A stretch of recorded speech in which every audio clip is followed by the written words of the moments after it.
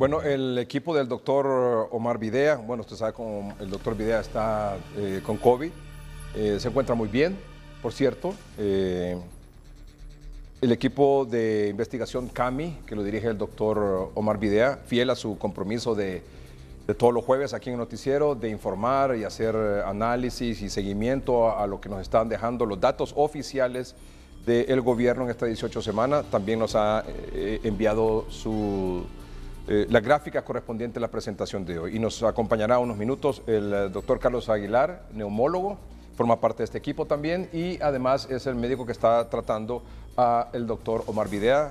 Doctor Carlos Aguilar, buenas noches. Muy buenas noches, licenciado Edgardo Melgar. Efectivamente, estamos eh, dándole seguimiento a la infección por coronavirus que ha adquirido el doctor Omar Videa. Y bueno, también atento a, a estos datos que, que vamos a, analizar y, aportar desde nuestra perspectiva. Muy bien, gracias. Antes que todo, ¿qué está tomando el, doctor Omar Videa? ¿Qué tratamiento está abordado? Este, ¿Con qué, con qué tratamiento se le está abordando? Bueno, eh, básicamente con dos tipos de antiinflamatorios, algunas medidas de soporte especiales que usamos en este tipo de pacientes. Eh, él se encuentra muy estable, eh, no está utilizando oxígeno, que es parte del tratamiento convencional en la mayoría de los pacientes cuando eh, llegan a una fase eh, que se denomina pulmonar o de insuficiencia respiratoria. Así que las condiciones del doctor Videa son realmente muy estables, estamos muy optimistas. Yo creo que, de pronto lo tendremos eh, nuevamente en la línea de batalla y ahí pues acompañándolo también a usted. Muy bien, muchas gracias, doctor Carlos Aguilar. ¿Estaría como, sería como el tratamiento maíz triple A, por la referencia que hizo usted? Eh, bueno, no, no específicamente. Eh, en él estamos utilizando un esquema muy específico porque no tiene algunas complicaciones que se utilizan en tratamientos ya más avanzados. De hecho, está en casa y estamos dándole el tratamiento básicamente eh, tomado, por decirlo algo. No está usando ningún tipo de inyecciones. hay medicamentos que, como usted bien lo sabe, se utilizan eh, de forma intravenosa o subcutánea y en este caso el doctor está únicamente con, con, medicamentos vía oral. Muy bien.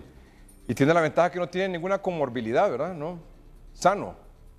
Bueno, aparentemente, según el interrogatorio, no nos refirió ningún, ninguna complicación. Es un médico joven y yo, yo creo que va a salir adelante. Muy bien. Vamos con la primera gráfica, doctor eh, Carlos Aguilar. Y estoy seguro que el doctor Omar Vidal nos está viendo esta noche desde su casa.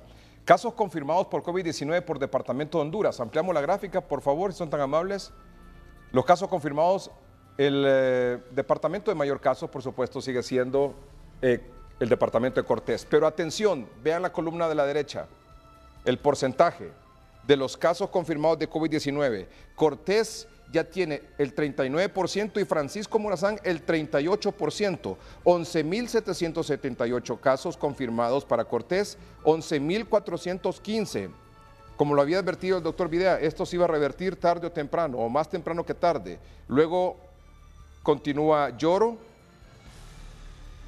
continúa Lloro, también Choluteca, Atlántida. Lloro está en tercer lugar, el departamento, en cuarto lugar está Atlántida, en quinto lugar Choluteca. Pero vean ustedes cómo eh, en el resto de departamentos también se encuentra ya también una importante cantidad de casos confirmados. Estos son los casos confirmados que nos da Sinajer. Recuerde que más o menos por uno, dice el doctor Videa, que podrían ser fácil eh, unos 10 eh, sospechosos. Así que este, este, punto, este, este punto porcentual, doctor, ¿qué comentario le merece Cortés Francisco Morazán? El Valle de Sula y la región central del país son los dos eh, centros poblacionales con la mayor densidad de habitantes. Era eh, casi lógico, esperado que estas dos zonas geográficas del país iban a concentrar el mayor número de casos. Tal como eh, se decía en la introducción, es muy probable incluso que en este momento Tegucigalpa y sus alrededores tengan muchos más casos, porque en la medida que se hagan más pruebas, pues lógicamente esto se irá eh, modificando. No sabemos exactamente por qué eh, San Pedro Sula tuvo esa explosión de casos, hay algunas hipótesis, pero serán los estudios de campo y los estudios retrospectivos, sobre todo, que nos van a dilucidar y aclarar esta, eh, este cambio, digamos, en la, en la proyección. Y yo creería que probablemente la zona central eh, seguirá acumulando más casos y probablemente llegue a sobrepasar el Valle de Sula. Muy bien. Vamos ahora a porcentaje de casos confirmados por COVID-19 por departamento. Siempre, bueno, Cortés con el 39%, Francisco Morazán con el 38%. El 4% Lloro, 4% Atlántida. Siempre se ha sostenido, siempre se han mantenido estos casos en Lloro, en Atlántida. y también Choluteca y Valle. Atención que esto es como el corredor, doctor eh, Aguilar, Cortés, Atlántida, Lloro, Francisco Morazán, Valle, Choluteca, los departamentos que más casos reportan. Así es, se ha venido manteniendo una tendencia geográfica, una tendencia epidemiológica. Recordemos también que en estos departamentos eh, también reúnen los grandes centros poblacionales, eh, Choloma, eh, la ciudad de Choluteca, es decir, es justamente en estos lugares donde están también grandes centros de conglomerados, la fábrica, las maquilas, las universidades, los colegios, y es altamente probable que haya una explicación en este sentido. Y es probable también que esta misma noche, con el informe que nos dé Sinajera, a partir de las ocho y media, ya Francisco Morazán le pase a, Cortés, con los casos confirmados hoy. Seguramente. Además, recordemos que... Eh, digo, perdón, doctor, digo oficialmente, porque como usted decía, ya eh, eh, no confirmados por, la autoridad, ya esto debe, ya, debe, debe tener más ya Francisco Morazán que Cortés. Sí, eh, también destacar que la presencia de laboratorios públicos y privados, tanto en la región del Valle de Sula como en la zona central, están aportando un mayor número de casos porque estamos diagnosticando más casos. Y esto naturalmente hace que las estadísticas reflejen ese incremento, ese paralelismo este, entre estas dos ciudades. Aunque ya vamos a ver también cómo disminuyó la cantidad de pruebas procesadas, porque también yo quisiera aclarar eso, en la cadena nos dicen pruebas realizadas y no, son pruebas procesadas, porque las pruebas realizadas, esas pruebas se realizaron ya días o probablemente semanas. En este caso lo que se hizo hoy fue el procesamiento de esas pruebas. ¿Es correcto o me equivoco, doctor? E, es correcto. Es más, Licenciado Melgar, quisiera aprovechar, no sé si en la gráfica anterior usted tiene el departamento de Gracias a Dios. A ver, eh, no aparece. Sí, sí, sí, aquí está, gracias a Dios. Pongamos la pantalla completa, por favor. Sí. Sí, gracias a Dios, dice eh, casos confirmados 96, eh, doctor. Sí, es que quisiera hacerle un comentario al respecto. hace unas horas recibí una información pidiendo ayuda de parte de, algunas personas colaboradoras que nos decían que hay una enorme cantidad de muestras que no se han podido transportar del departamento de Gracias a Dios de Puerto Lempira hacia el laboratorio donde están siendo procesados.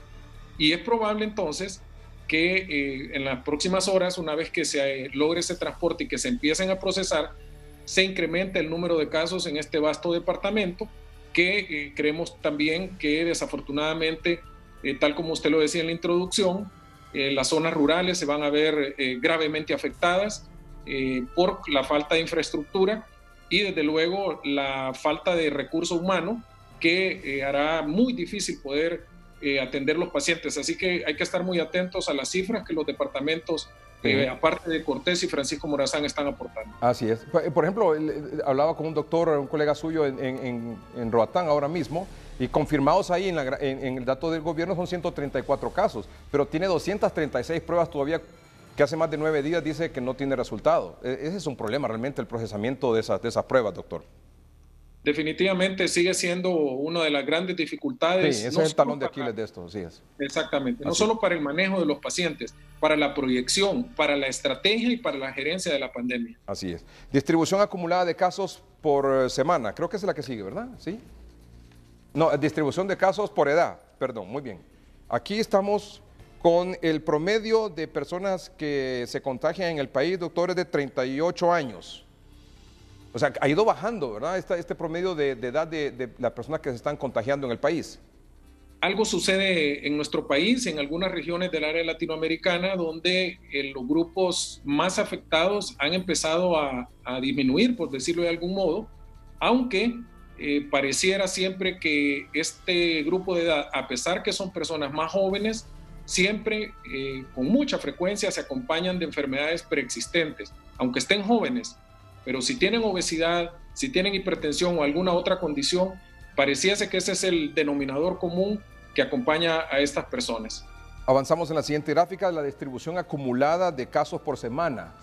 En esta, ayer miércoles, que terminó la semana número 18, teníamos 30.036 casos. Vea cómo la curva sigue eh, su tendencia ascendente, doctor. Este ha sido la, eh, la forma de esa curva que, bueno, todos estamos con la esperanza de que empiece a, estabilizarse para llegar a esa tan deseada meseta. Eh, es muy difícil poder predecir cuándo va a ocurrir eso eh, en función de lo que acabamos de decir. Así es. Eh, pruebas que no están en tiempo real y eso nos hace, eh, bueno, plantear escenarios bastante inciertos. Por ejemplo, la distribución de casos por semana. Por ejemplo, la semana número 17 hubo 5.716 casos, pero para esta semana que concluyó ayer, 4.058. Es decir, hubo una rebaja sustancial. ¿A qué se debe? Porque hicieron menos pruebas. Es muy probable que se estén haciendo menos pruebas o también esté sucediendo un fenómeno que lo hemos empezado a ver y no está reflejado en las gráficas. Ya se empiezan a liberar algunas camas en los hospitales. Podríamos creer que se trata de la el efecto que está teniendo los triajes que están detectando ser también. y hospitalizando menos pacientes. Y ojalá que así sea. Que, eh, ya vamos a ver que en, efecto de la semana 17 a esta semana bajaron la cantidad de pruebas, bajó la cantidad de pruebas, pero también es importante, como hemos insistido aquí, es habilitar los centros de triaje, que, que, más de centros de triaje, doctor, y usted sabe que ya son centros de atención, centros de estabilización para pacientes con síntomas leves, moderados, que incluso pueden irse con su tratamiento a su casa, otros se pueden quedar ahí unas horas, un par de días. La cosa es que no lleguen a los hospitales. Definitivamente, ese centro de triaje tienen que convertirse y fortalecerse como centros de atención temporal eh, porque se pueden salvar muchas vidas en esas valiosísimas horas cuando la persona llega y se le puede instalar rápidamente un tratamiento, el oxígeno y una evaluación médico oportuna. Muy bien. Por ejemplo, la distribución de casos en esta semana bajó tanto en Cortés como en Francisco Morazán sí es, es, curioso eh, cómo esa eh, curva se ha eh, variado, y, pero sigo pensando que, no hay una evidencia que realmente que refleje lo que está ocurriendo. En realidad esto yo creo que va a ir cambiando semana a semana. Así es. Lo mismo, por ejemplo, tiene que ver con la cantidad de decesos. La semana 17 nos dejó 152 decesos y esta semana 131. Es decir, si, bien es cierto bajaron, pero también es una cantidad importante, es decir, 131 en 7 días, ¿verdad? Sí, son cifras todavía, yo diría que inaceptables en términos de, poder disminuir esa tasa de letalidad y se tiene que seguir trabajando fuertemente. Yo pienso eh, particularmente que el mayor esfuerzo en este momento de la pandemia tiene que ser el fortalecimiento de las instituciones, de los hospitales, porque el virus ya tiene una transmisión eh, comunitaria eh, abierta, o sea, no hay manera eh, prácticamente de poder detener de algún modo que hayan más contagiados, pero sí podemos ayudar a prevenir que más personas puedan perder la vida. Doctor, por ejemplo, la siguiente gráfica. Hace un momentito hablábamos de que el 38 años es la edad promedio del infectado en el país, pero vea usted el promedio de los fallecidos, la edad promedio de los fallecidos es de 60 años. Es decir, los jóvenes se contagian, van a la casa, visitan a los abuelos, visitan a los padres y al final son los mayores de 60 años los que están falleciendo. Vea la gráfica, es de el 45.3% de, los, eh, de las personas que fallecen son personas de 61 a 80 años de edad. El 11.3% es de 81 años en adelante. Estaríamos hablando de un 56% eh, más o menos de la población que fallece es arriba de 61 años. Y si sumamos los de, 30, los de 21, de, 21 a, a, 60 más o menos, estamos hablando del 41%, versus el 54% más o menos o, 56% de las personas que fallecen que son de 60 años en adelante. Sí, le, le comentaba muy similar a lo que ocurre en casi todo el mundo. Recordemos que la esperanza de vida también en la mayor parte de los países se sitúa entre los 70, 80 años y solo los países muy desarrollados han sobrepasado esa, ese límite de edad. Entonces lo lógico es eh, pensar que es ese grupo, particularmente entre los 60 y los 70 años, donde se van a acumular el mayor número de casos. Y por eso esa población vulnerable debe de extremar sus medidas eh, tanto para eh, prevenir ese contagio, como bien lo señalaba, del sobrino que llega a verlo, del nieto que llega a visitar, pero también en el control de las enfermedades preexistentes. Y acá creo que hay que hacer un enorme esfuerzo porque ¿qué pasa con esos diabéticos que no pueden ir a los hospitales públicos a traer sus medicamentos, que no tienen acceso a la insulina, que no pueden ir a traer o a comprar un medicamento para la presión, porque no hay dinero, porque no hay empleo y porque no hay transporte público? Este grupo eh, muy vulnerable hay que prestarle mucha atención para precisamente disminuir el número de muertos. La cantidad de fallecidos, el 46% está en Cortés, el 37% está en Francisco Morazán y luego también en Lloro, Atlántida y Choluteca. Colón también reporta eh, más del 2% de fallecidos de los casos confirmados que han fallecido. Eh, Cortés, Francisco Morazán, eh, Atlántida, Choluteca, Lloro, Santa Bárbara, Comayagua, Colón, y ahí sucesivamente. Y el riesgo es, doctor, como lo mencionábamos con usted hace unos minutos, y, ha sido la preocupación permanente del doctor Videa, es que cuando esto ya, el, virus eh, se extienda en el interior del país, la, preocupación es, mucho mayor, el riesgo es mucho mayor. por lo débil de la infraestructura de salud en el interior, ¿verdad? Eh, esa, comparación eh, dramática entre lo que ocurre en los hospitales, en, ciudades grandes, eh, por ejemplo, Catacamas. Hoy tuve la oportunidad de conversar con una colega en Catacamas.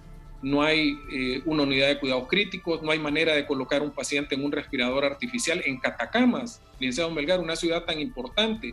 Y escuché la parte final de la entrevista con, el colega en Roatán es, Solo tienen cinco camas COVID en Roatán.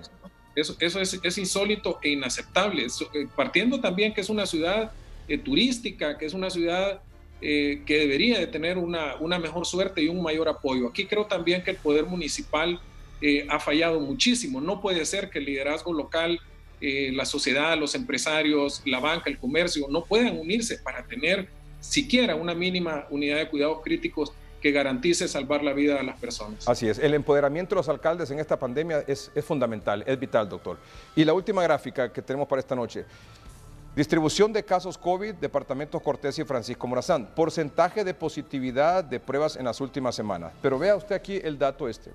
Las pruebas realizadas. Desde la semana 14, 7.895. Después aumentó la semana 15, 9.106 pruebas realizadas. La semana 16, 11.599. La semana 17, 11.681 pruebas. Pero ya la esta semana, 9.791. Ahí está entonces el por qué se ve una disminución del reporte de casos, porque también disminuyó la cantidad de pruebas realizadas.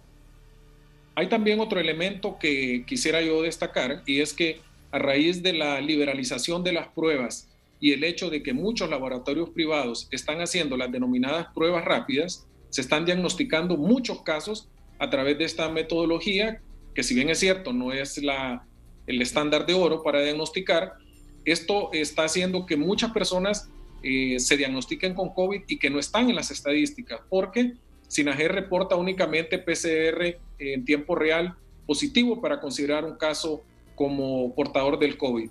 De tal manera que estas cifras reflejan lo que se ha venido diciendo, que muy probablemente esos 30 mil y pico de casos probablemente sean el doble o quizás más en todo el país. Así es. Doctor, a mí me satisface mucho el hecho de que aquí en la ciudad, y, y quiero que esto ocurra y quisiera que esto ocurriera en todo el país. Se habiliten más centros de triaje. Yo le decía hace unos minutos, en, la, en el centro de triaje de Mayangle ayer atendieron 283 personas. Le dan tratamiento y, a quienes lo necesitan lo estabilizan. Eh, como debe ser, ya no son centros de triaje, son centros de atención y de estabilización en algunos casos. En el centro cívico 278 ayer pacientes, en el Infop 226, en el que se habilitó en el gimnasio de la Católica 284, 1071 solo ayer. Y me informan que es muy probable que ya pronto se habilite en la iglesia CCI 1, en la zona del Carrizal por Plaza Millennium otro, en la Biolímpica también otro triaje. Tendríamos 3, 4, 5, 6, 7. Nosotros hemos planteado aquí que necesitamos unos 10 por lo menos en el Distrito Central para evitar eh, más muertos, doctor. Así de sencillo. Y, y, entiendo que no está incluido ahí el seguro social. No, no, están incluidos los trajes del Seguro Social, así es. Que también juegan un papel importante, aunque el Seguro Social usted sabe que es el 16% de la población. El resto es la CESAL, la Secretaría de Salud. Totalmente de acuerdo, pero y eh, pregunto lo del Seguro Social porque recordemos que esos trabajadores que llegan al triaje del Seguro Social, probablemente sus dependientes o sus familiares eh, sean también eh, personas que pueden llegar a contagiarse. Lo que quiero decir con esto es que tenemos que tener una visión integral de lo que está sucediendo y cómo estamos manejando a nivel local esta, esta pandemia. Por eso los, los centros de triaje son importantes y yo no sé si 10 irán a ser suficientes. Recordemos que Tegucigalpa y sus alrededores es una población flotante que hay quienes estiman que anda cerca del millón y medio, dos millones de habitantes. Y eh, yo creo que deberíamos de pensar e irnos preparando en aumentar eh, ese número de triajes y quizás 10 sea un número que se vaya a quedar corto. Doctor, eh, conversaba con, con el doctor Omar Videa, eh, a quien saludamos por supuesto la distancia y deseamos su pronta recuperación, así como de, todos los pacientes que están sufriendo en estas circunstancias eh, tan terribles y en las cuales nosotros lo que queremos es no solo solidarizarnos, sino que buscar la manera eh, como los hospitales tengan más personal para poderlos atender de una mejor manera, eh, para evitar que se compliquen y que tengan, por supuesto, los insumos y la logística para poderlos atender de una mejor manera. Decía el doctor a manera de resumen, por primera vez Francisco Morazán a un punto porcentual de Cortés, probablemente eh, en cuestión de, estos días, si no es que esta, la próxima semana, ya va a superar Francisco Morazán a Cortés. El descenso de casos producto de una marcada reducción del número de pruebas. Ya lo mirábamos también cómo se redujo la cantidad de pruebas en esta semana.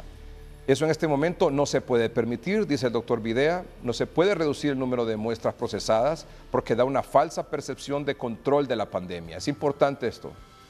No se puede reducir el número de muestras procesadas porque da una falsa percepción de control de la pandemia. Ojo con esto. Hemos comenzado, dice el doctor Videa, el pico real y eso se ve en los triajes y hospitales.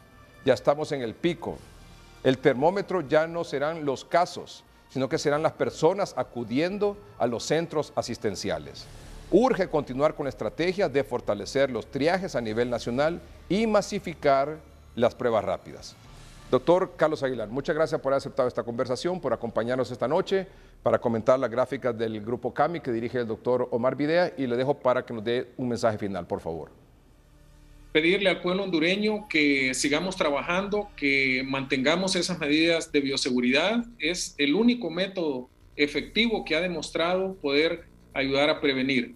Quiero también eh, mostrar mi solidaridad con todos los eh, familiares, eh, amigos, colegas, compañeros de los trabajadores de la salud que han perdido la batalla, que han fallecido por el COVID, así como a los compatriotas que están acudiendo a los hospitales eh, decirles que el gremio médico, que el personal de salud está haciendo su máximo esfuerzo para poder atenderlos y a las autoridades, desde luego, pedirles un mayor esfuerzo, un mayor compromiso, porque gran parte de los médicos y el personal de salud que se ha enfermado y muchos han perdido la vida, no me cabe la menor duda que fue por la falta de equipo de bioseguridad.